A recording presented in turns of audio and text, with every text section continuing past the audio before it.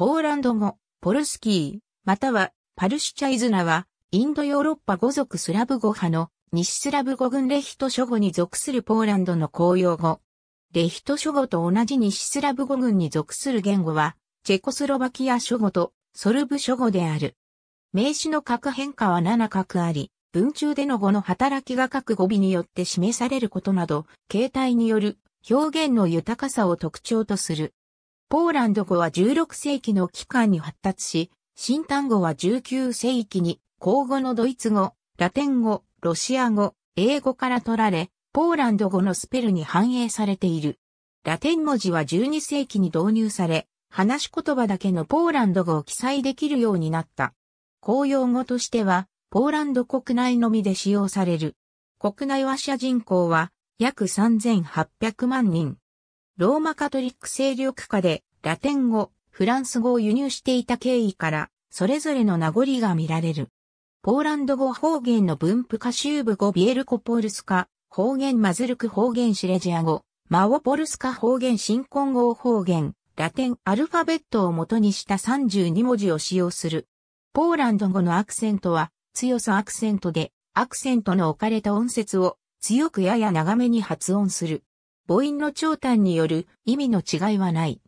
また、ポーランド語のアクセントにはもう一つ、次末アクセントという特徴がある。これは、最後から2番目の音節にアクセントを置くという意味である。ただし、外来語の中には、アクセントの位置が特殊なものがある。死因は、前後の他の死因に影響を受けて、代用する有声と無声が交代する場合がある。有声化の例、無声音が W を除く、有声音の前に接続した場合。無声化の例、有声音が5末に来た場合。有声音が無声音の前に接続した場合。本来は有声音である W の前に無声音が接続すると V は無声音 F に変化する。女性名詞アチョニックロザジューゼンスキー語、中性名詞、アチョニックロザジュニジャケ語の3つがある。男性名詞はさらに、活動体名詞と不活動体名詞に分かれるが、女性名詞と中性名詞には、このような区別はない。名詞は、複数では、男性人間名詞と非男性人間名詞に分類される。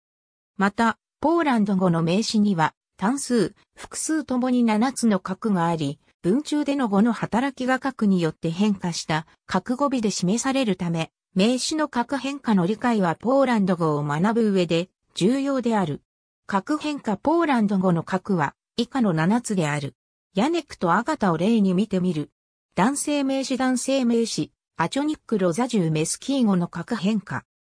女性名詞女性名詞、アチョニックロザジューゼンスキー語の核変化。中性名詞中性名詞、アチョニックロザジューニジャ敬語の核変化。核変化ラドニー、綺麗なお礼に、単数と複数における形容詞の核変化を示す。ポーランド語の動詞の不定形は大部分で終わる。ビッグの活用形ビッグは、ある、であるの意味の動詞である。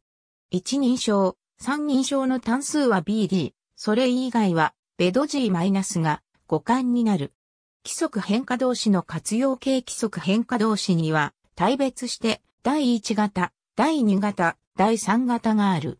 第1型ザナック、シルオレーに現在規則変化を示す。第2型ルビック、好むオレーに現在規則変化を示す。奇数詞を用いる場合、主格は1が単数形、2から4が複数形、5以降は12、13、14以外の1の位が2、3、4である数を除き、すべて複数性格型となる。